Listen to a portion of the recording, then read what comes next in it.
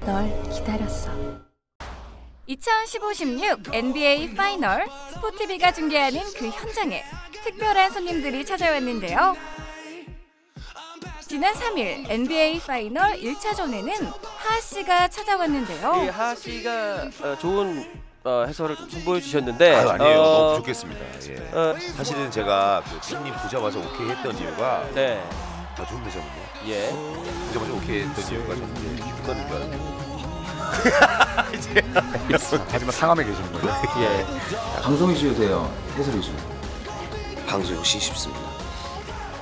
11일 열린 NBA 파이널 4차전에는 또 다른 농구 매니아 배우 오창석 씨가 마이크를 잡았는데요. 파이널 4차전을 함께하게 된 연기자 오창석입니다. 어, 일단은 어, 이런 영광스러운 자리에 초대를 해주셔서 정말 감사하고 제가 어, 이 섭외를 받고 또 언제 한번 이런 자리에서 제가 이 분들하고 예. 같이 또 방송을 할 수 있을까 해서 어, 좀 흔쾌히 네, 기쁜 마음으로 왔습니다. 네. 사실 제가 이구어달러를 잘 몰랐을 때 네. 3년 전인가 예. 그때는 이제 오락에서 처음 아, 봤는데 예. 이름 보고 뭐, 뭐 도마뱀인가 뭐 이구아나인가 이랬어요 그냥 솔직히 이거 하나요? 이름이 너무 특이해서 그냥 아, 그렇죠. 네. 서장우 씨는 NBA 파이널 5차전에 참석해 시청자들에게 특별한 48분을 선물했는데요. 파이널 무대. 이어 믿을 수 없는 현실이 저희에게도 다가왔습니다. 아 이런 농구 이벤트에 제가 해설로 오랜만에 참여하게 돼서 아, 너무 반갑고요. 제가 볼 때는 선수 시절의 경험을 살려 거침없는 해설을 시작한 서장훈. 그의 해설은 시청자들의 반응을 확실하게 이끌어냈다고 하죠.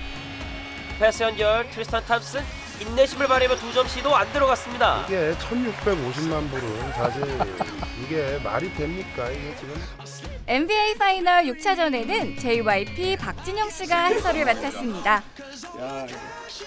평소 박진영 씨는 NBA의 광팬이라고 알려져 있는데요.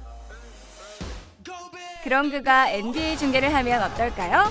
직접 만나보시죠. 이상하게 지난번 경기의 영향으로 다 클리블랜드가 이길 거라고 예상하고 있어요. 저기서 지금 mismatch가 일어난 걸 보고 저런 걸 놓치지 않는다는 거죠, 르브론이. 예. 완전히 60, 67대 33으로 르브론을 다 옮겨간 거예요. 해설위원으로 첫 데뷔 방송 치고는 너무 잘하시는데요.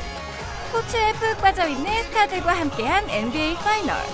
스포츠 중계를 그들과 함께하니 더욱더 재미있는 중계가 된 것 같은데요.